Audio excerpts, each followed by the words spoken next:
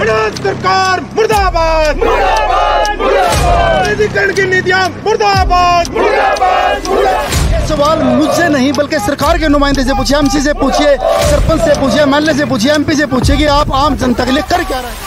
इंकलाब है इंकलाब है इंकलाब जिंदाबाद जिंदाबाद जिंदाबाद जिंदाबाद। बच्चा शिक्षित है पढ़ा लिखे तो देश विकास की ओर बढ़ेगा। मुर्दाबाद मुर्दाबाद मुर्दाबाद भी बेचे मुर्दाबाद। मुर्दाबाद। चिराग बुझाने का काम किया जा रहा है चिरागों का भविष्य नहीं बनाया जा रहा। फरमान मुर्दाबाद। मुर्दाबाद सरकार का तो एजेंडा ही निजीकरण है।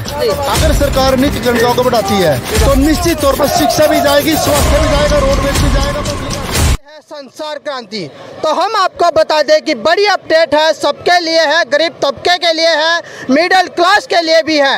क्योंकि जो सरकारी स्कूल है, जहाँ पर गरीबों के बच्चे पढ़ते थे, अब उन पर सरकार की तलवार चलती नज़र आ रही है। हम आपको बता दें कि चिराग योजना के तहत एक ऐसी स्कीम सरकार लेकर आ रही है, जिसके अंदर जो सरकारी स्कूल में पढ़ने वाले बच्चे जो हैं, यदि वो प्राइवेट में चले जाते हैं तो सरकार प्राइवेट स्कूल को उन बच्चों की फ़ीस देगी। तो कहीं ना कहीं सरकारी स्कूलों पर सरकार की तलवार लटक रही है, जिसके चलते अब सरकारी स्कूलों पर आफत आन पड़ी है। और यहाँ पर जो देखोगे कि टीचर्स यहाँ पर, काफ़ी टीचर्स यहाँ पर मौजूद हम उनसे बातचीत ज़रूर करेंगे कि क्या कुछ पूरा मामला है यहाँ पर देख सकते हैं कि काफ़ी संख्या में यहाँ पर टीचर्स यहाँ पर पहुँचे हैं। हाँ जी नमस्कार सर।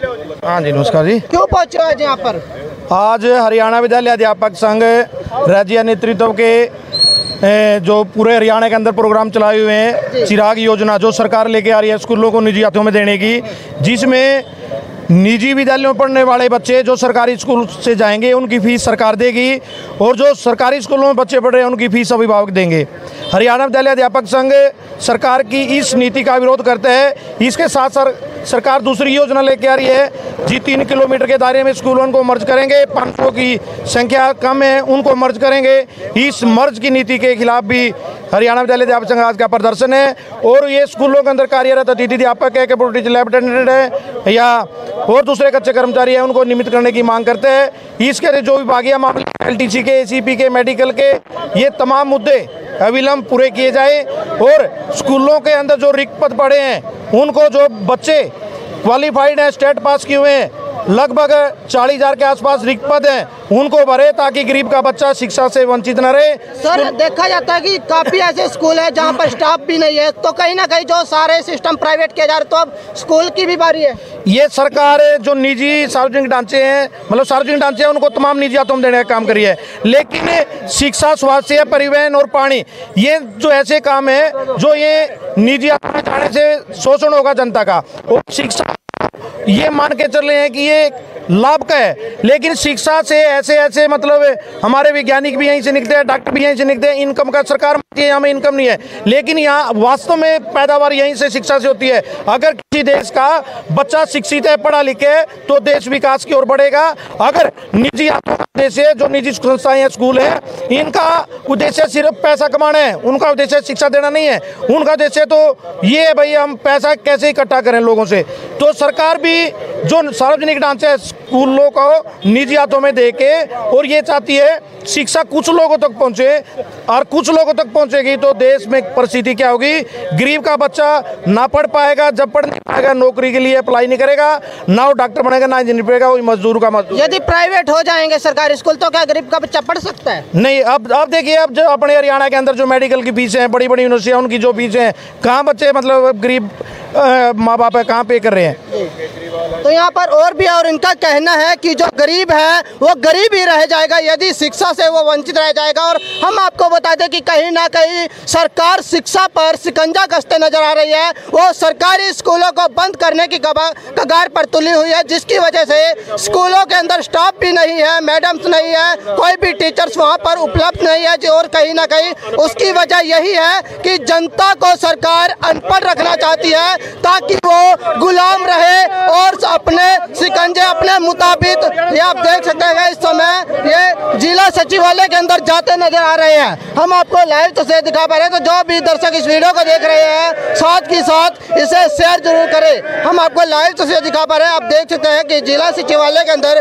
डीसी साहब को ज्ञापन देने के लिए अध्यापक संघ है, वो जा रहे हैं तो जो भी दर्शक इस वीडियो को देख रहे हैं, साथ के साथ इसे शेयर ज़रूर कर दें और हम आपको बता दें कि पहले भी ऐसे काफ़ी मामले हैं, जैसे कि रोडवेज़ हो गई, हरियाणा रोडवेज़ हो जाती है, और भी ऐसे पद हो जाते हैं जिनको सरकार जो है प्राइवेट करने पर तुल जाती है। और हम आपको बता दें कि आज, जी हाँ एक चिराग योजना सरकार लेकर आ रही है, जिसके अंदर क्या है कि जो गरीब है, वो गरीब रह जाएगा, और अनपढ़ जो है, वो अनपढ़ रह जाएगा। कहीं ना कहीं गरीबों पर जो है सरकार सिकंजा कसते नज़र आ रहे हैं जो सरकारी स्कूल है, वो बंद करने की कगार पर आ जाते हैं और इस समय आप देखोगे कि सामने पुलिस बल, सामने तैनात है। पुलिस बल यहाँ पर खड़ा हो जाता है। कहीं ना कहीं रास्ता रोका जा रहा है। आप देख सकते हैं कि सरकार के खिलाफ यहाँ पर नारेबाजी यहाँ पर चिराग योजना वापिस लो वापिस लो वापिस लो तो आप देख सकते हैं कि चिराग योजना वापस लोग यहाँ पर नारे लग रहे हैं, क्योंकि हम आपको बता दें कि जो चिराग योजना है, एक ऐसी योजना है, जिसके अंदर जो गरीब है, वो गरीब रहने वाला है, अनपढ़ जो है, वो अनपढ़ रहने वाला है, क्योंकि सरकार पहले से ही चाहती है कि कोई भी ना पढ़े, अपने अधिकारों को ना जाने, संविधान को न पहचाने। जिसके चलते अब चिराग योजना जो है, वो लेकर आते हैं, लेकिन हम आपको बता दें कि चिराग योजना के अंदर जो है, दबे कुचले वर्ग का शोषण किया जाएगा। सरकारी स्कूल में पढ़ने वाले सरकारी स्कूल में नहीं पढ़ पाएँगे, इस समय आप देख सकते हैं। ये लाइव तस्वीर आप देख पा रहे हैं। इस समय हम आपको जिला सचिवालय से लाइव तस्वीर दिखा पा रहे हैं। तो जो भी दर्शक इस वीडियो को देख रहे हैं, साथ के साथ इसे शेयर ज़रूर कर दे। इस समय जो अध्यापक संघ है, वो जिला सचिवालय में घुस चुका है और डीसी साहब को ज्ञापन देने के लिए वो जा रहा है। तो जो भी दर्शक इस वीडियो को देख रहे हैं, साथ के साथ इसे शेयर ज़रूर कर दे और हम आपको बता दें कि पहले भी ऐसे काफ़ी जो विभाग है, जैसे हरियाणा रोडवेज़ हो जाती है और काफ़ी अधिकारी ऐसे हो जाते हैं डीसी रेट को जो काफ़ी नौकरियाँ जो होती है, उनको भी खत्म कर दिया जाता है। और अब आप देखोगे कि कहीं ना कहीं जो सरकारी स्कूल है, उनको प्राइवेट किया जा रहा है। तो जो भी दर्शक इस वीडियो को देख रहे हैं, साथ के साथ इसे शेयर ज़रूर करते हैं यहाँ पर और भी लोग हैं। हाँ जी क्या कहना चाहोगे? देखिए हम ये कहना चाहते हैं सरकार जो निजी का एजेंडा लेकर के चली है उसको हम किसी भी कीमत पे सफल नहीं होने देंगे। ये एक आम जन का मुद्दा है गरीब की शिक्षा का सवाल है। गरीब के बच्चे को शिक्षा नहीं मिलेगी जिस तरीके का ये निजीकरण लेकर के आया हुआ है। इसलिए और जी। काफ़ी ऐसे विभाग हरियाणा रोडवेज़ पे हो गए और भी कैसे ऐसी चीज़ें हैं जिनको बिल्कुल प्राइवेट कर दिया गया बिल्कुल सरकारी का तो नाम निशान ही नहीं देखिए इस सरकार का तो एजेंडा ही निजीकरण है। अगर सरकार निजीकरण को आगे बढ़ाती है तो निश्चित तौर पर शिक्षा भी जाएगी स्वास्थ्य भी जाएगा रोडवेज़ भी जाएगा पब्लिक हेल्थ भी जाएगा हर डिपार्टमेंट को निजीकरण ये करेगी। तो गरीब तबका कहाँ जाएगा ये सवाल मैं आपसे पूछना चाहता हूँ कि बात आप एक आम जन से पूछिए सरकार के नुमाइंदे से पूछिए कि क्या वो जनप्रतिनिधियों के लिए काम करना चाहती है? ये सवाल मुझसे नहीं बल्कि सरकार के नुमाइंदे से पूछिए एमसी से पूछिए सरपंच से पूछिए एमएलए से पूछिए एमपी से पूछिए कि आप आम जनता के लिए कर क्या रहे हैं? तो बिल्कुल बड़ा सवाल हम भी प्रशासन से पूछना चाहते हैं कि वो आम जनता के लिए क्या कुछ कर रही है प्रधान जी नारे ज़रूर लावेंगे ला लो नहीं नारे ज़रूर लावेंगे नारे तो हमारा हथियार है बिल्कुल बिल्कुल हमारा तो है तो कोई दिक्कत नहीं है वो एक प्रोटोकॉल है ज्ञापन का एक प्रोटोकॉल है डीसी साहब नहीं है डीसी डीसी साहब नहीं असिस्टेंट असिस्टेंट नहीं है तो कलर को इंकलाब जिंदाबाद जिंदाबाद जिंदाबाद अध्यापक के साथ जिंदाबाद जिंदाबाद जिंदाबाद चिराग योजना रद्द करो रद्द करो रद्द करो हरियाणा कौशल रोज़गार निगम को रद्द करो। रद्द करो रद्द करो। शोषण आधारित हरियाणा कौशल रोज़गार निगम को रद्द करो। रद्द करो रद्द करो। नई शिक्षा नीति को रद्द करो। रद्द करो रद्द करो। नई शिक्षा नीति को रद्द तो आप देख सकते हैं कि जो नई शिक्षा नीति सरकार लेकर आ रही है चिराग योजना के बलबूते पर वो गरीबों का शोषण करना चाहती है जिसके चलते गरीब गरीब रहने वाला है अमीर अमीर रहने वाला है दबा कुचला वर्ग दबा कुचला रह जाएगा। और इस समय आप देख सकते हैं कि डीसी साहब को यहाँ पर ज्ञापन देने के लिए लोग जो है अध्यापक संघ जो है वो पहुँच चुका है। यहाँ पर जो लोग हैं उनसे हम बातचीत जो इंकलाब है इंकलाब है इंकलाब जिंदाबाद जिंदाबाद जिंदाबाद जिंदाबाद इंकलाब है इंकलाब है इंकलाब है इंकलाब जिंदाबाद जिंदाबाद जिंदाबाद जिंदाबाद सरकार मुर्दाबाद मुर्दाबाद मुर्दाबाद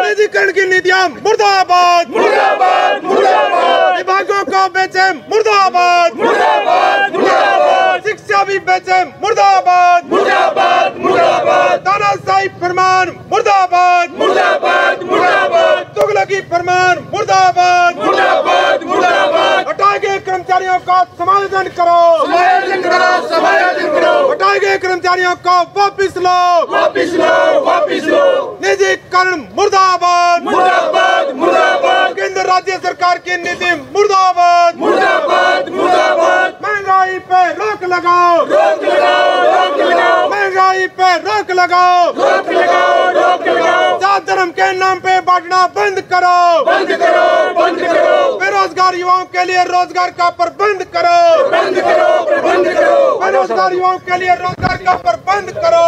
बंद करो बंद करो। तो आप देख सकते हैं कि यहाँ पर डीसी साहब के यहाँ पर ज्ञापन यहाँ पर सौंपा जाएगा। आप देख सकते हैं लाइव तस्वीर से हम आप देख पा रहे हैं। तो जो भी दर्शक इस वीडियो को देख रहे हैं साथ के साथ इसे शेयर ज़रूर करें। हम आपको लाइव तस्वीर दिखा पा रहे हैं। हरियाणा सरकार हर रोज एक स्कीम लेके आ रही है। तो लगातार हम इन मुद्दों को लेकर के चलते रहे हैं। लेकिन जो आज का हमारा मुद्दा है प्रदेश स्तरीय वो ये है कि सरकार एक चिराग नाम की योजना लेकर के आई है। चिराग बड़ा सुंदर शब्द है। हमारे घरों में चिराग आपके घरों में चिराग है। उनको सरकार कह रही है कि हम इनका भविष्य बनाएँगे। हम ये कह रहे हैं कि जो प्लान जो योजना सरकार इनका भविष्य बनाने के लिए लेकर के आ रही है, वो वास्तव में चिराग बुझाने का काम कर रही है।